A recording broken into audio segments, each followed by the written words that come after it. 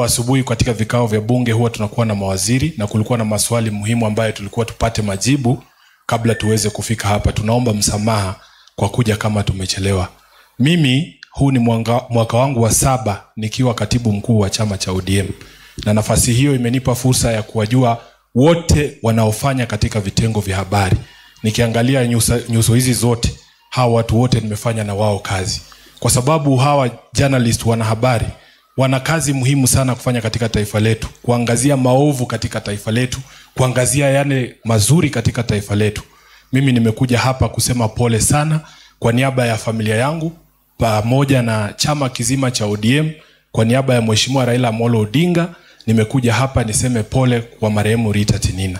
Ni miezi michache tu tumemzika ndugu yetu Jeff Haemba ambaye alikuwa mwanahabari kule K24, na mimi nataka kanisa muwaombee hawa wanahabari wetu kwa sababu bila ya hawa, mimi nataka niwaambie leo, bila ya hawa hata labda Sifuna angekuwa anazungumza hapa. Kama si hawa watu walikuwa wanakuja maandamano na kamera, tungeuawa.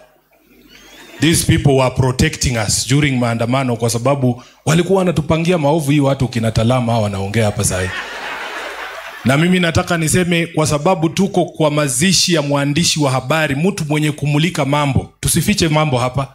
Huwezi kutuambia tusizungumzie vitu ambavyo vinauzi zinahusu wananchi wetu. Kama kuna kitu ndani ya hii serikali, mwenye kuulizwa swali ni nani? Mwenye serikali. we huwezi kutuuzia fertilizer ovyo, alafu kuja kutuambia tusiulize kwa niaba ya wananchi. Na uki, uki, uki, ukiangalia vizuri, ukichunguza, kama Rita angekuwa hapa afanye expose, ungekuta hii fertilizer iliingizwa na Talamu. Anatuambia hapa hati tusiulize hii maswali. Mimi nataka kumwambia Rais Ruto, wewe kila kitu kinafanyika ndani ya serikali yako ni wewe tutauliza. Hakuna mtu mwingine wa kuuliza. Kila mtu anajua ya kwamba kuna ukora katika uchaguzi. Nani ajui kwamba mwaka wa elfu mbili na saba uchaguzi uliibiwa?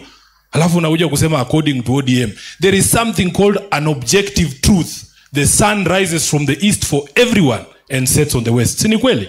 And as journalist we must defend the truth every single time. Kwa hivyo kwa hayo mengi nataka niseme asante sana na niseme mungu aiweke roho ya rita mahali pema peponi mungu awabariki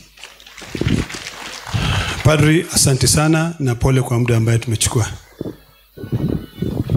Santi, we now will cross over to the Mass. It is only befitting